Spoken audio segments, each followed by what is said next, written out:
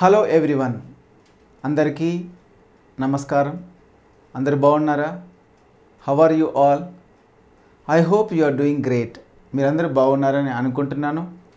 All the glory to God దేవునికి మహిమ కలుగును గాక. Now let's start the class ఇప్పుడు మనం క్లాస్ని ప్రారంభించుకుందాము. Today we're learning about the places that were used during the Bible writing. మనం ఈరోజు కొన్ని ప్రాంతాలను నేర్చుకుంటున్నాము. ఈ ప్రాంతాల్లోనే బైబిల్ అనేది రాయబడింది. Our class is six the question is was the Bible written in many places Bible అనేది ఒకే ప్రాంతంలో నుంచి రాయబడిందా? ఎక్కువ ప్రాంతాల నుంచి రాయబడిందా? అనేది ప్రశ్న. నౌ ఇఫ్ యు సీ మీరు చూసినట్లయితే మోజెస్ మోజెస్ అంటే మోషే. మోషే గారు ఇన్ ద వైల్డర్నెస్ అంటే ఆయన అరణ్యంలో ఉంటూ ప్రయాణిస్తూ ఇజ్రాయేళ్ళను నడిపిస్తూ రాసినటువంటి ప్రాంతము అరణ్యంగా మనము చూస్తున్నాము. అయితే ఫస్ట్ రాసింది ఎవరు అని అంటే మోజెస్ గారే. He was the one who wrote the Bible in the first మీరు చూసుకున్నట్లయితే ఆదికాండము నిర్గమకాండం లేవేకాండము సంఖ్యాకాండం ద్వితీయోపదేశకాండము in English Genesis Exodus Leviticus Numbers తర్వాత డిట్రానమీ ఇవన్నీ కూడా ఈయన రాశాడు మోసెస్ రాశాడు మోషే రాశాడు. అయితే ఇవన్నీ కూడా ఆయన ప్రయాణం చేస్తూ అరణ్యంలో రాశాడు అన్నది అంటే వైల్డర్నెస్ అని మెన్షన్ చేశారు. అంటే దాన్ని మనం యూజువల్గా అరణ్యం అనే పిలుస్తాము. ఓకేనా? జనసాంద్రత ఎక్కువగా లేనిది only there are certain places where no human beings are not much lived ఎక్కువ జనాలు లేని ప్లేస్లో రాశాడు అన్నట్టుగా మనకి ఇక్కడ అర్థమవుతుంది. తర్వాత నెక్స్ట్ చూసుకున్నట్లయితే డానియల్ తెలుగులో దానియల్ అంటాము. In a foreign emperor's place అని అంటే ఆయన రాజగృహాల్లో ఉన్నాడు కాబట్టి ఎవరితో? శత్రుఘ్ మేషక్ అభిజ్ఞతో పాటు ఉన్నాడు. తర్వాత అక్కడ చాలా సంగతులు జరిగాయి. ఆయన ప్రార్థన చేయడం తర్వాత పట్టుబడడం తర్వాత ఆయన దేవుడు హెచ్చించడము. ఇవన్నీ మీకు తెలుసు. సో అందులోనే భాగంగా ఆయన ఒక రూలర్ ఒక చక్రవర్తి ఒక ఎంఫరర్ రాజు ఆయన గృహాల్లో నుంచి రాయబడిన గ్రంథాలు కొన్ని ధాన్యాల ద్వారా. ఓకేనా? సో అదొక ప్లేస్ అన్నమాట. తర్వాత మనం చూసినట్లయితే పాల్. పాల్ అంటే పౌలు గారు. పౌలు గారు ఇన్ ఏ ప్రిజన్. ప్రిజన్ అంటే జైలు. ప్రిజన్ అంటే జైల్. జైలు. తర్వాత జైల్లో ఆయన చెరసాలలో చెరసాలలో వేయబడ్డాడు కదా. ఆ టైంలో కూడా కొన్ని పత్రికలు రాశాడు. అంతేకాకుండా he was travelling through the world లేకపోతే అక్రాస్ ద వరల్డ్ ఆయన మూడు ప్రయాణాలు చేశాడు. మొదటి ప్రయాణం రెండో ప్రయాణం మూడో ప్రయాణం ఆయన ప్రయాణం చేస్తూ కూడా ఆయన పత్రికలు రాశాడు. నెక్స్ట్ లూక్ లూక్ అంటే తెలుగులో లూకా. ట్రావెలింగ్ విత్ పాల్ అంటే పౌలు గారితో పాటు ఆయన ప్రయాణం చేసినప్పుడు ఆయన రాసినటువంటి గ్రంథాలు మనం బైబిల్లో చూడొచ్చు. యోహాను.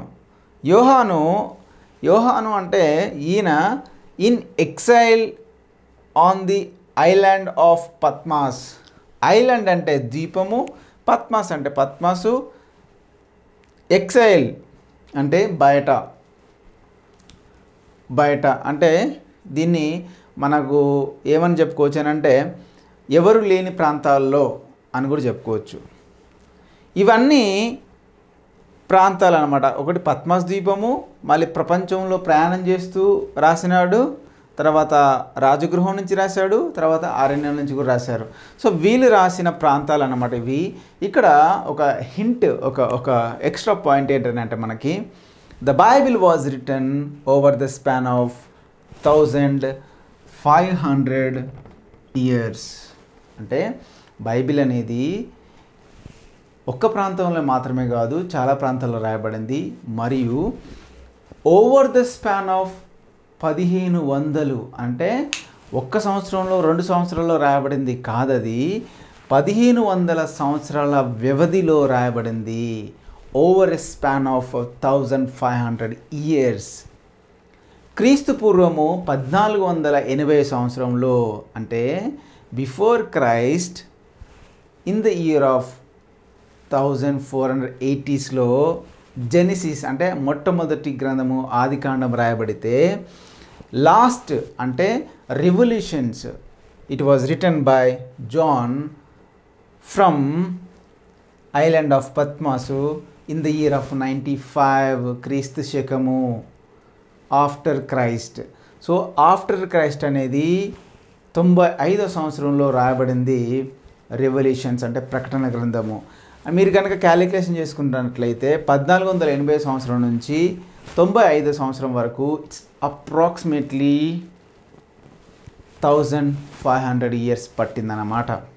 And one more thing not only that there are three different continents from which the Bible was written అంటే ఒక ఖండం కాదు మూడు ఖండాల నుంచి different three different countries sorry continents అంటే కాంటినెంట్ అంటే ఒక్కొక్క ఖండం అంట. మనం ఆసియా నుంచి ఆసియా ఖండం నుంచి ఆఫ్రికా ఖండం నుంచి యూరప్ ఖండం నుంచి ఈ యొక్క బైబిల్ అనేది రాయబడింది ప్రాంతాల్లో నుంచి కూర్చోబడింది. యూరప్ మనకు తెలుసు ఆసియా అంటే మనకు ఇవన్నీ uh, మన ఆసియా ఖండంలో ఏమేమి వస్తాయో మనందరికీ తెలుసు. ఓకేనా? ఆఫ్రికా. ఆఫ్రికా అంటే మీకు ఆల్రెడీ తెలుసు ఆఫ్రికా ఖండము. యూరోప్ అని అంటే చాలామందికి తెలియదు ఎన్ని దేశాలు ఉంటాయి చాలా దేశాలు ఉన్నాయి అందులో. More than fifteen countries are there Italy Malta Poland Ireland చాలా ఉన్నాయి ఇంకా. జర్మనీ కూడా. చెప్పాలనుకుంటే జర్మనీ కూడా. జర్మనీ స్విట్జర్లాండ్ చాలా ఉన్నాయి. సో ఈరోజు మనం నేర్చుకున్న విషయాలు ఇవి. Today we have learned about how many places the Bible was written తర్వాత in what was the span span of the Bible writings and three different continents అంటే మూడు ఖండాల నుంచి బైబిల్ రాయబడింది పదిహేను వందల సంవత్సరాల కాలంలో రాయబడింది తర్వాత చాలా ప్రాంతాల నుంచి కూడా బైబిల్ అనేది రాయబడింది అనేది ఈరోజు మనం చూసుకున్నాము. I hope you are understanding very well మీరు బాగా అర్థం చేసుకుంటున్నారని నేను అనుకుంటున్నాను. If you have any questions please comment below మీకు ఒకవేళ ఎనీ క్వశ్చన్స్ ఏమైనా మీకు ఉంటే కనుక కమెంట్లో కమెంట్ బాక్స్లో కమెంట్ చేయండి. I will definitely reply you back ఓకేనా so thank you glory to the God దేవునికి సమస్త మహిమ ఘనత చెందాలి.